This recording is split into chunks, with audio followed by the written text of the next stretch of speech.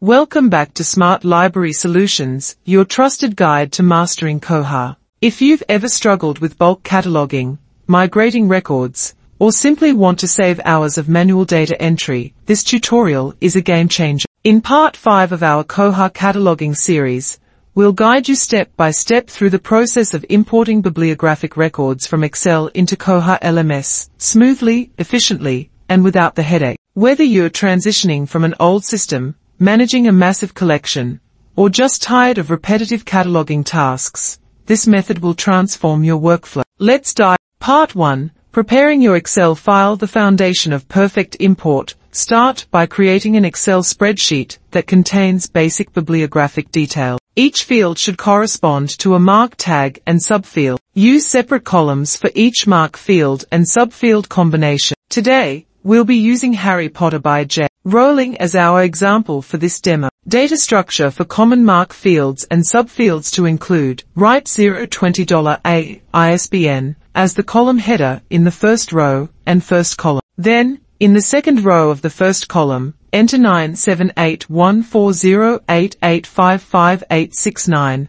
as the ISBN of your first record. Row 1, headers enter MARC tags and subfields, like $020 are for ISBN. Row 2, one book per row. Each row represents a single bibliographic record. Similarly, write $041 A language code as the column header in the first row and second column. Then, enter English in the second row of the second column. Likewise, write 080 row of the third column. In the same way, write $082 B item number as the column header in the first row and fourth column. Then, enter row H in the second row of the fourth column. Just like that, write $100 A, author, as the column header in the first row and fifth column. Then, enter Rowling, J, in the second row of the fifth column. Important, all data for a single book must be entered in one row. Once we verify that we are entering the correct information, go to Koha Cataloging and click on Fast Cataloging.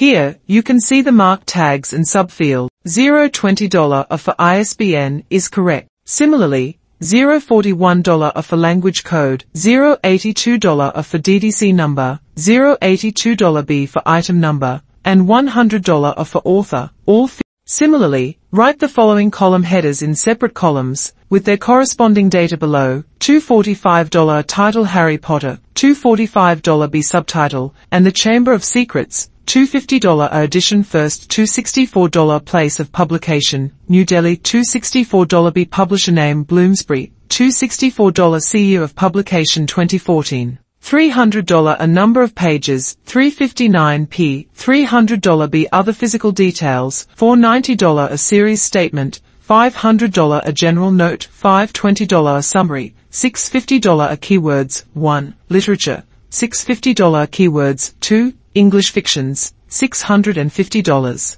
A keywords, 3. English novels, $700 added author, 1. $700 added author, 2. Essential fields. Do not skip, $942 See item type BK to verify item type codes in your Koha system. Go to the Koha staff homepage, click Koha administration under basic parameters.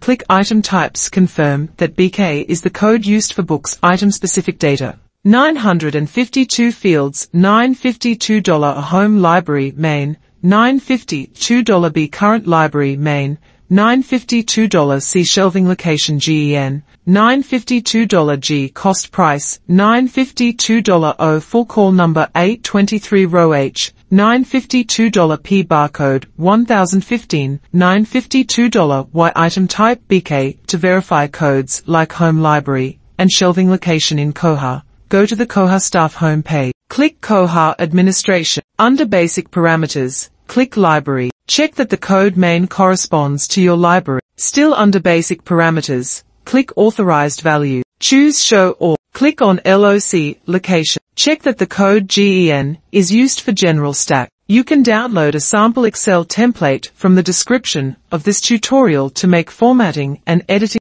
Part 2 Installing MARC Edit Your secret weapon. For MARC conversion, visit the MARC Edit website. Go to https colon double forward slash marcedit. Reset. Net MarcEdit is a free, powerful software tool used by librarians and catalogers to create, edit, and manage MARC records, machine-readable cataloging records. These records store bibliographic and metadata information in library system. Download MARC Edit Click Download from the left side menu. Select Windows Build option. Click Download MARC Edit 7. 7. All users. Install MARC Edit. Locate the downloaded file. MARC Edit underscore 7 underscore 7 underscore user underscore install in your downloads folder. Double-click the file to run the install. Click Run if prompted by a security warning. Follow the installation wizard. Click Next. Select Typical Setup, Recommended. Accept the license agreement. Choose an installation folder. Default is fine. Click Next. Click Next again. Click Install to begin installation.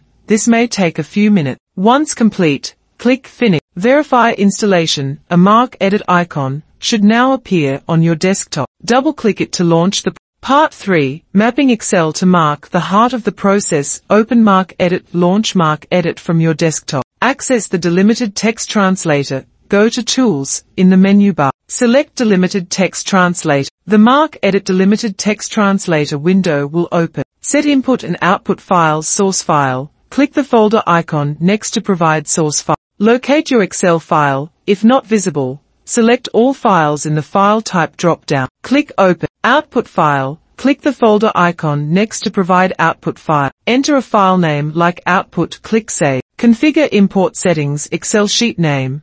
Default is sheet 1. Change if needed. Delimit. Keep tab as the default, unless your data uses a different separator. LDR008 settings. Click Edit LDR008. Select Book for bibliographic record. Click OK. Import the file, click Import File. A data snapshot window will appear, showing Excel columns labeled as Field 0, Field 1, Field 2, Field 3, etc. Under Field 0, you will see $020A ISBN. This represents the data you recently uploaded. Suggested MARC tags for mapping. Map Excel columns to MARC field. Under Select or Settings, assign each column to the correct MARC field. Choose field 0 for $020 A, ISBN, type $020 in map to click Add Argument. After clicking Add Argument, you will see your added MARC tag and subfield in the arguments box. Similarly, choose field 1 for $041 A, language code, type $041 in map to click Add Argument. Repeat this process for all necessary fields. Choose field 2 for $082 A at DDC number. Choose field 3 for $082 B item number. Choose field 4 for $100 A author. Choose field 5 for $245 A title and